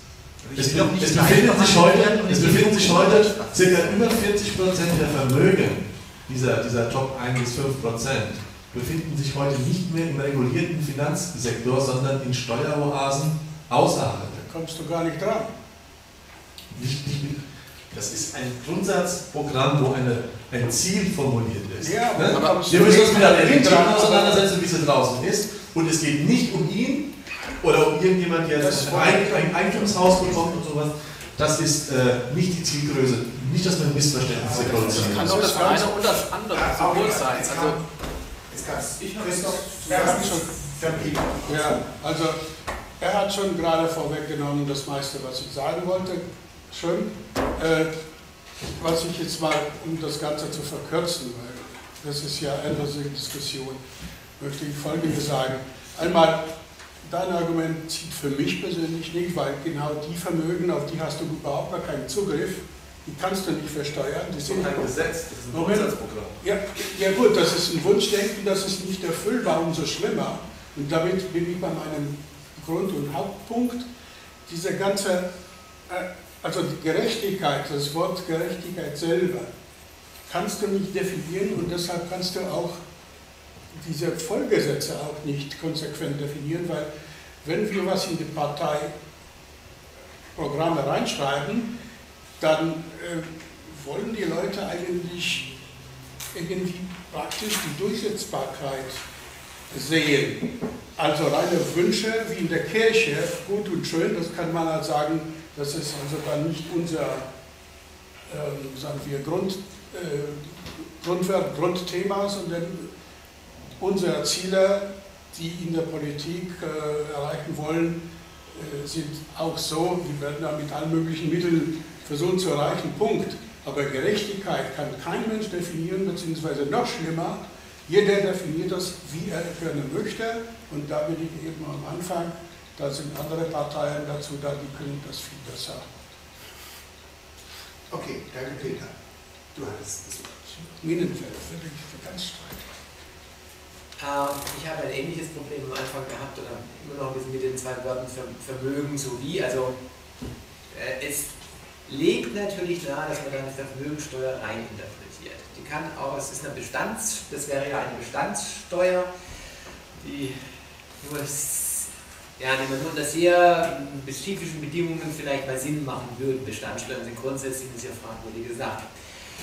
Aber irgendwo steht eigentlich da nicht wirklich drin, dass es eine Vermögensteuer ist. Ich lese die da nicht wirklich raus. Weil, äh, dass man Vermögen zur Finanzierung der Gesellschaft heranziehen will, da gibt es ja alle möglichen Zwangsanleihen. Ja, Zwangsanleihen zum Beispiel, also wo, mich, wo das Vermögen ja nicht aufgebraucht wird und wo, wo man es auch verzinsen kann entsprechend. Ja, also wo man im Prinzip die Anlageform des Vermögens vorschreibt, kann man sich auch drüber streiten. Ja. Nur äh, da steht für mich nicht Vermögensteuer. Das ist eine rein interpretierbare Sache und die Sache bei grundsätzlichen Entscheidungen ist ja auch immer das Programm ist ja auch immer hinzugehen und mal eine grobe Richtung zu sagen. Und da steht für mich drin, dass, dass Leute, die sehr viel Geld haben, irgendwie mal gucken muss, inwieweit man die Finanzierung mit hineinnimmt. In den Details nachher, wie man das macht, lässt es einen sehr weiten Spielraum offen. Von daher könnte ich mit Bauchschmerzen, das war das Beispiel von vorhin, mit Bauchschmerzen mit, diesen, mit dieser Formulierung leben. Wenn jetzt da Vermögensteuer wirklich stehen würde, würde nicht mehr so richtig genau, ne? Aber so mal, auseinanderzuhalten. Okay. mein Vorschlag, wir sind jetzt hier in der Diskussion. Äh, ja, noch den, den, Punkt Nachhaltigkeit noch zu machen. Oder? Ja, wir haben jetzt noch einen Punkt und zwar äh, Nachhaltigkeit. Ja. Nachhaltigkeit bedeutet nachhaltiger Umgang mit Ressourcen. Die Rahmenbedingungen für wirtschaftliches Handeln sind so auszugestalten, dass Fehlentwicklungen für die Allgemeinheit und Umwelt zu wirtschaftlichen Konsequenzen für die verantwortlichen Akteure führen. Zweitens, nachhaltige Haushaltspolitik. Und da komme ich dann jetzt zu deinem Punkt. Steuern sind Ausdruck kooperativen Verhaltens einer Gesellschaft. Steuern sollen im Ergebnis mehr Wohlstand und Selbstverwirklichung für alle bewirken. Die Aufnahme sowie der Abbau von Staatsschulden dienen der Erreichung gesellschaftlicher Ziele. Dabei müssen wirtschaftliche, ökologische und soziale Interessen unter Berücksichtigung des gesamtwirtschaftlichen Gleichgewichts in Einklang gebracht werden. Schulden sind nur auf Grundlage transparenter Entscheidungsprozesse aufzunehmen und abzubauen. Das waren die ersten beiden Punkte zur Nachhaltigkeit. Dann die nächsten zwei Punkte Nachhaltige Subventionspolitik. Subventionen dienen ausschließlich der Erreichung gesellschaftlicher Ziele, etwa dem Anschub von Entwicklungen oder der Erhaltung von wirtschaftlichen, ökonomischen und sozialen Lenkungswirkungen. Alle Subventionen müssen Transparenz vergeben und mit klaren Ziel- und Zeitvorgaben verknüpft werden. Auch bestehende Subventionen müssen zeitlich befristet und bei Veränderungen begründet werden. Die Wirksamkeit aller Subventionsprogramme muss fortlaufend geprüft werden. Nachhaltige Finanzsysteme. Nachhaltiges Finanzsystem. Das Finanz- und Währungssystem ist so auszugestalten, umzugestalten, dass es den Menschen und der Realwirtschaft dient. Ein nachhaltiges Finanzsystem stellt sicher, dass gemeinschaftsschädigende Systemkrisen nicht auftreten. Das waren jetzt die vier Punkte zur Nachhaltigkeit und ich bitte zur Diskussion.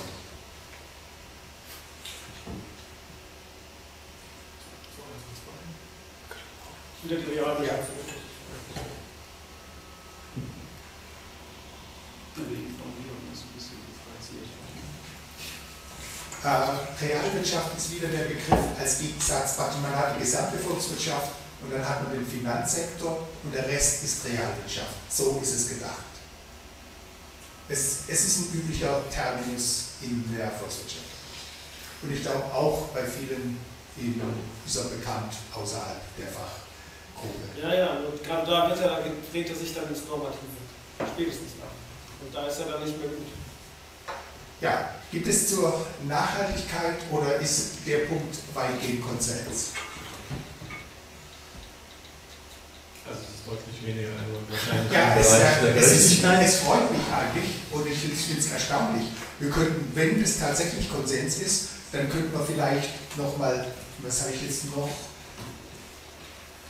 Ja, das Ziel ist, dass dieser, äh, dieser äh, Antrag auf dem Bundesparteitag vorgestellt wird und dass es ein gemeinsames Programm ist. Das glaube ich, das ist ein wichtiger Punkt. Und äh, ja. Ich möchte noch mal ganz kurz äh, den ähm, Diskutanten die Möglichkeit geben, natürlich auch die, ähm, die anderen beiden Anträge, die im Augenblick in der Antragsfabrik stehen, der 002 und der 092 könnt ihr euch notieren, in der Antragsfabrik, das ist 444.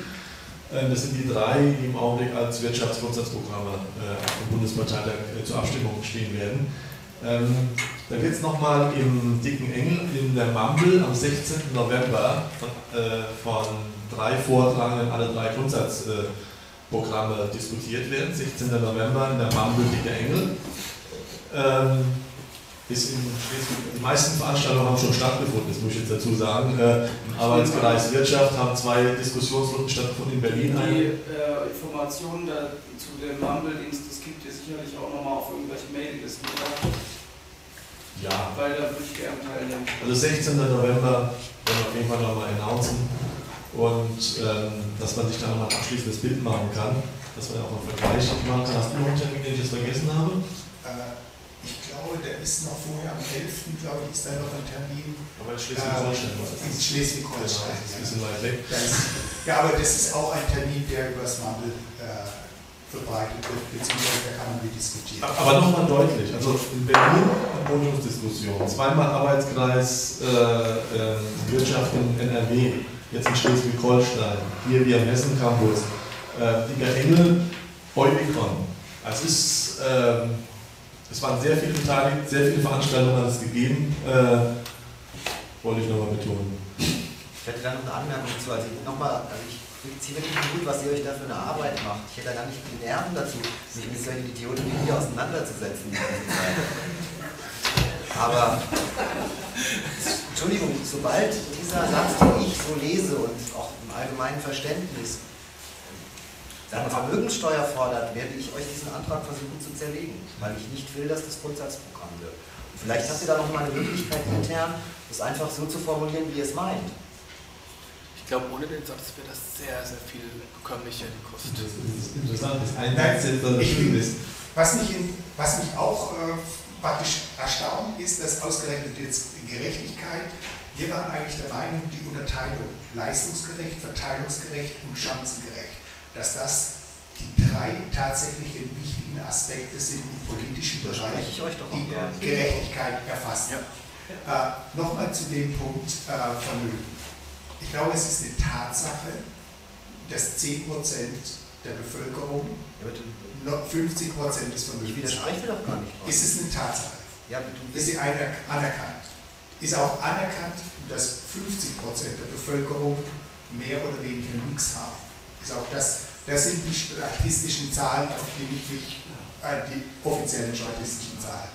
Ganz einfach. Wenn du versuchst, diese 50% umzuverteilen, damit die 50% der Menschen nichts haben, wird die Gesellschaft scheitern, weil wir sind im Moment, wir sind im Moment an einem Punkt, wo einfach die Leute, die richtig reich sind, und ähm, ich kenne einige, die sagen, unter den Rahmenbedingungen mache ich das nicht mit. Und die suchen sich aus, wo sie leben. Und die gehen übergangsweise jetzt schon nach Österreich, weil ja der grünen Gesetzesentwurf so weit geht und sagt, wir möchten eine Vermögensabgabe, die ihr offenbar ja nicht habt, könnte man aber unter Umständen auch daraus lesen. Und die Grünen im Gesetzesentwurf, was die hier einbringt, steht ja drin, rückwirkend fünf Jahre. Das heißt, wer in den letzten fünf Jahren irgendwann unbeschränkt steuerpflichtig in Deutschland war und innerhalb dieser fünf Jahre ab Eintritt des Gesetzes weggezogen ist, wird auch nochmal nachträglich auf sein Vermögen besteuert und zwar 10% pro Jahr ist irgendwie da angedacht. Also ja, brauchen wir nicht zu diskutieren. Für mich ist wichtig, dass eine Partei sich abgrenzt und ich kann nicht sagen auf der einen Seite, ich will, dass alle gleich behandelt werden und kann da aber dann eine Ausnahme machen. Und da tut es mir einfach weh. Diese Ausnahme gerecht, ich find, empfinde es nicht als gerecht, wenn jemand wegen einer Gesetzeslücke oder wegen einer Fehlfunktion äh, des Finanzmarktes sich bereichert hat, und da muss man sagen, da gibt es Schweine und es gibt gute, wie überall, dann ist es einmal per se die Aufgabe des Gesetzgebers, diese Lücken zu schließen, sich an die Nase zu fassen und all die Gesetzgeber zu sagen, wir haben zugelassen, dass dieser Finanzmarkt so aus dem Ruder gelaufen ist. Wir müssen das ändern. Wir können nicht rückwirkend sagen, weil wir das politisch verpasst haben, deswegen holen wir das Geld uns jetzt zurück, weil es sind ja alles Schweine, das ist nicht meine Piratenpartei, Entschuldigung. Darf ich mal direkt darauf gehen? Gerne. Äh, zum einen denke ich, ist Rechtssicherheit ist ein ganz großes, ein ganz großes Gut und das sollte man nicht ohne weiteres, beziehungsweise das sollte man sehr genau nachdenken, wenn man dagegen verstößt. Das ist Punkt 1. Der Punkt 2 ist, ich glaube, man muss anerkennen, dass mit Geld Macht verbunden ist und dass mit dieser Macht, die damit verbunden wird, auch Gesetze beeinflusst werden. Ich glaube, Griechenland, um jetzt mal es nicht so hautnah zu haben, Griechenland ist deshalb auch so in Schwierigkeiten, weil die Finanzoligarchie, nenne ich es mal so, praktisch die 10% Reichen, die in Griechenland noch mehr haben als in Deutschland, weil die auch Gesetze verhindert haben, weil die auch ihren Einfluss geltend, haben, machen, geltend gemacht haben, damit beispielsweise die Finanzverwaltung in Griechenland so schlecht ist, wie sie ist. Als Beispiel, hätte Griechenland eine Staatsquote wie Deutschland, dann hätten sie nur die Hälfte der Schulden. Hätten sie eine Staatsquote wie Skandinavien, dann hätten sie gar keine Schulden, angenommen bei gleichen Ausgaben. Das heißt, ich möchte darauf hinweisen, auf den Zusammenhang. Die Staatsquote. Das. Oder die Steuer. Ich habe jetzt von Staatsquote, wo alle Steuern zusammengefasst sind. alle Steuern zusammengefasst werden und Sozialabgaben. Ich möchte darauf hinweisen, dass es eine Wechselwirkung gibt zwischen Gesetzgebung und Interessen Absolut. und dass diejenigen, die mehr Macht haben, auch ihre Interessen besser durchsetzen können. Das möchte ich zu bedenken. Was ich aber sagen möchte, was aus meiner Sicht ganz wichtig ist, dass die Rahmenbedingungen der Wirtschaft geändert werden, dass nicht die einen, obwohl sie den ganzen Tag arbeiten, brauchen nochmal eine Unterstützung, noch einen Aufstocker, während andere, die mehr oder weniger gar nicht arbeiten, sondern arbeiten lassen, die leben in Saus und Braus. Und das ist aus meiner Sicht, das ist aus meiner Sicht eine Diskrepanz innerhalb der Vermögens. Deine Aussage ist so populistisch gerade, die tut mir so weh. Ähm, Jeder, ja. der viel Geld hat, lebt im Saus und Braus. Nein, das sage ich Was? nicht. Natürlich sagst du. Nein, das sage ich nicht. Darf ich einen Satz fragen? Ja, ja, sicher. Durch diesen Satz, was du daraus an Maßnahmen ableiten kannst, was kannst du mit diesen Maßnahmen äh, erreichen, um dem entgegenzuwirken? Eigentlich doch gar nichts. Und das ist doch, es ist doch wirkungslos. Noch, äh, noch eine ergänzende Sache. Du hast halt beleuchtet, was ich auch zustimme. Die, die viel Geld haben, haben viel Macht. Aber das ist nicht alleinige der Grund, nach meiner Auffassung, äh, dass Griechenland da steht, wo es heute steht, sondern die anderen sind Politiker, nämlich die Politiker versprechen alles Mögliche. Wir machen zum Beispiel, um eine Zahl zu nennen, Rente ab 50, wähle mich nur und dann sagen ja wunderbar, natürlich wähle ich die. Wir machen einmal 20 Stunden Woche, konstruiert sein. Also Versprechungen, Versprechungen, die sich gut anhören und da werden die gewählt und das wird auch umgesetzt und das Ergebnis wird natürlich. In keinem Land der Erde hast du eben solche Situationen wie in Griechenland. Auch die Staatsquote ist auch das Ergebnis der politischen Versprechungen, weil es ist ganz einfach, irgendwas zu versprechen, nur um gewählt zu werden. Da wollen wir doch nicht hin. Ich muss noch einen Satz sagen, ihr seid falsch fachlich, wenn ihr sagt, die Staatsquote ist verantwortlich. Verantwortlich ist dafür, dass Griechenland im Jahr zwischen 55 und 60 Milliarden Steuerausfälle durch Steuerhinterziehung, Veruntreuung etc. gehabt hat. Nicht die Staatsquote, das ist verantwortlich. Äh, die, Staatsquote, die Staatsquote berücksichtigt das. Ähm, das ist ja auch einer der Punkte. Ich glaube nicht, dass die Griechen, wenn man sie mal so pauschal betrachtet, dass sie nicht in der Lage wären, ein ähnlich gutes Steuererhebungssystem zu haben wie wir. Sie haben eins. Sondern es sind die Interessen, die dahinter stehen, die diese Steuererhebung mehr oder weniger lasch verfolgen. Und ich glaube, diesen Zusammenhang, den muss man einfach sehen, dass praktisch hinter der Verfolgung von Gesetzen oder hinter der Einhaltung von Gesetzen auch wieder Interessen stehen. Und ich gebe dir recht, Peter, wenn du sagst, das waren Politiker etc. Aber auch Politiker werden beeinflusst, kommen nicht einfach so an die Regierung. Und damit geht Fehler. Und der Politiker Natürlich. sagt, wenn ich da mal eine wunderbare Rente habe, wie in Deutschland, wenn ich mal äh, zwei Legislaturperioden überlebe, dann kann ich alles versprechen, um das Ziel zu erreichen. Die Rente ist, und dann muss jeder andere 180 Jahre leben, um das, diese Rente zu haben. Also, wir sehen. Ich wollte eigentlich nur zu bedenken geben, dass dieser ganze Bereich, wo man davon spricht, wie private in politische Macht übersetzt werden kann, als ich ermitteln gerne und so, im Kontext äh, des Gesprächs über ein Wirtschaftsprogramm ziemlich off-topic ist. Ja, weiß auch, wie wir hingekommen sind. Ich schon. Ich meine, das hat angefangen mit der Vermögenssteuer Hineininterpretation und dann sind wir da auf, diese, auf dieses Gleis gekommen. Das vollkommen recht. Aber um es nochmal nachvollziehbar zu machen, hat es begonnen. Und seitdem kommen wir in diesen Drive hinein, dass wir so eine Grundsatzdiskussion mit unseren unterschiedlichen äh, wirtschaftsparadigmatischen Ansichten austauschen, wo beide Seiten versuchen, den anderen halt mit, seinen, mit ihren Argumenten zu überzeugen. Und, ähm, ja. Aber das ist immer so, das ist anregend. Der Grund das ist, ist Gerechtigkeit ist ein Minenfeld. Ja. Das kann keiner eindeutig definieren. Du kannst auch nicht rauslassen als Ziel kannst du rauslassen und das als Ziel sagen, ohne genau zu sagen, Vermögensteuer und dieses und Leistung. Einfach, wir wollen. Lass uns mal was ganz Grundsätzliches sagen. ich glaube, in unseren Gesellschaften, gleich ehrlich, äh, geht es darum, irgendwie, haben wir eine Wahl zwischen mehr Stabilität und, und mehr Dynamik. Wenn man äh, mehr Dynamik will, das haben die Angelsachsen, glaube ich, die letzten 30 Jahre gemacht. Die haben einfach dereguliert, haben äh, Möglichkeiten, Freiräume äh, erweitert. Dadurch sind äh, Entwicklungen in Gang gekommen, die zu großen äh, Vermögenspreisblasen gebildet haben. Das ging sogar 20 Jahre gut oder 25, weil es war eine Win-Win-Situation. Solange diese Vermögenspreise angestiegen sind durch diese Deregulierung, konnte mehr Kredit wieder aufgenommen werden, konnte mehr konsumiert werden. Es hat sich in höheren Wachstumsraten Englands und Amerikas niedergeschlagen. Also hat dann abgefärbt. Deutschland hat versucht, mit anderen Ländern zu sagen, aha, das machen wir auch. Das war dann unter der rot-grünen Regierung und so weiter. Aber jetzt merkt man erst in den letzten drei, vier Jahren, was für ein Preis dafür zu zahlen ist, wenn man das macht, diese hohe Dynamik zulässt. Mit, mit einem Geldsystem, was den Partikularinteressen mehr, mehr dient. Nämlich, diese Blase platzt irgendwann mal und dann, dann, dann, steht man vor einer Situation einer Balance Sheet Recession. Dann muss man nämlich diese, diese, diese gehebelten äh, Blase, muss man dann wieder zurückschrumpfen und dann kommt es zur Problematik, wie tue ich diese Lasten verteilen in einer Gesellschaft. Das erleben wir seit fünf Jahren.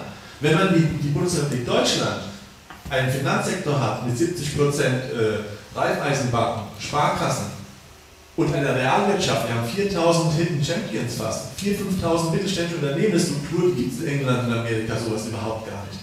Das ist dieser realwirtschaftliche Teil, den der A, den er betont. Das ist ein ganz anderes Kapitalismusmodell als dort.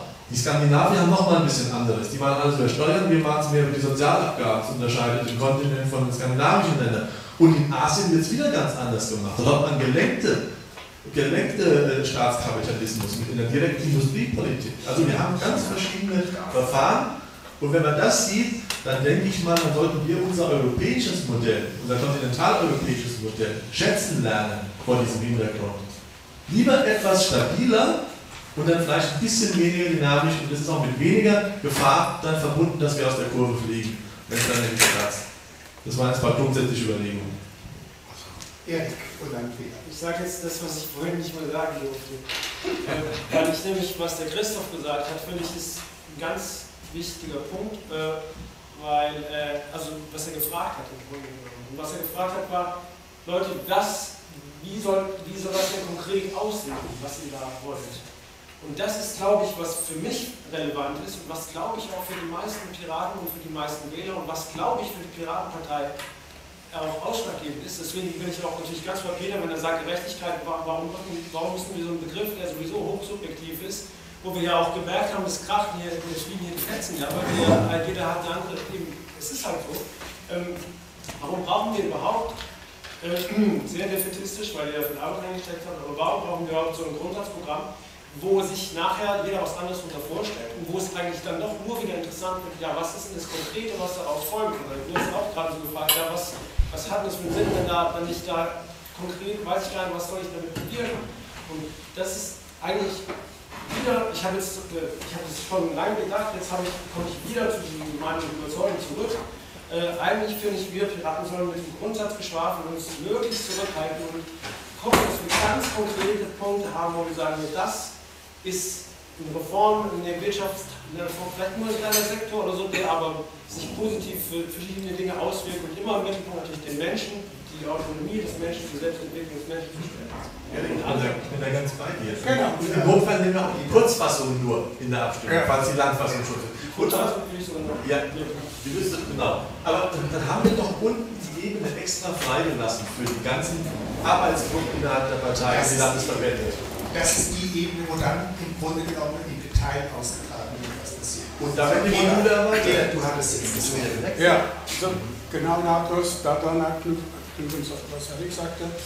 Äh, das weglassen und ihr habt auch wunderbar eigentlich in eurem Wirtschaftsprogramm konkret alle Maßnahmen sollen auf ihre Wirkung geprüft werden. Das ist ja entscheidend. Was passiert, wenn ich in der oder an der Schraube drehe und für mich eigentlich Politik und Staat ist eigentlich dafür verantwortlich, die Rahmenbedingungen, das heißt Limits zu setzen. Wenn alles freigemacht worden ist, wie das geschehen ist, ohne Limit, dann früher oder später muss es zu Auswüchsen und solchen äh, Wirkungen da mal führen.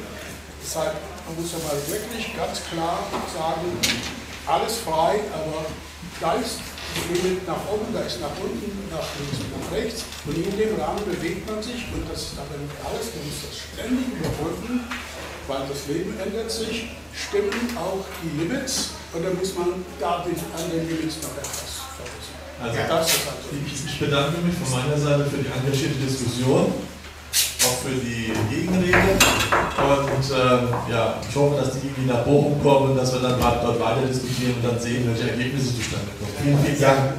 Ich möchte mich genauso bedanken, die Zeit ist ab, aber ich möchte dir trotzdem nochmal, äh, du hattest Schluss, weil ich mich gemeldet habe.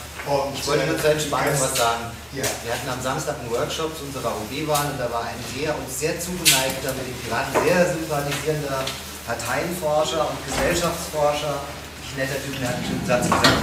Deswegen müssen wir uns alle gar nicht so aufregen. Programme sind für die Katz. Insofern. Das war aber nicht Franz Walter. Nein, der war es nicht. Der war es nicht.